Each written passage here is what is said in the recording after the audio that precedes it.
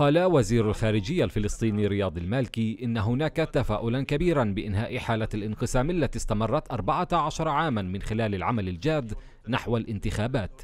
وأكد المالكي في كلمته أمام أعمال اجتماع وزراء الخارجية العرب في دورته الخامسة والخمسين بعد المئة الذي عقد بمقر الأمانة العامة برئاسة قطر رفضه تدخل أي جهة في هذه الانتخابات سياسيا أو تمويليا بشكل مباشر أو غير مباشر.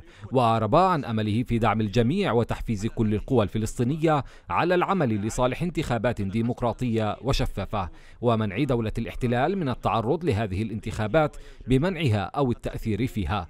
كما أعرب وزير الخارجية عن تفاؤله حيال انعقاد المؤتمر الدولي للسلام الذي دعا إليه الرئيس الفلسطيني محمود عباس خاصة بعد الاستماع إلى العديد من المداخلات للدول الأعضاء في مجلس الأمن. وأشار إلى انتظار خطوات تصحيحية من قبل إدارة بايدن فيما يخص القضية الفلسطينية وإلغاء ما تم اتخاذه من إجراءات وخطوات غير قانونية من قبل إدارة ترامب. Millions of Americans who are shortly going to lose them.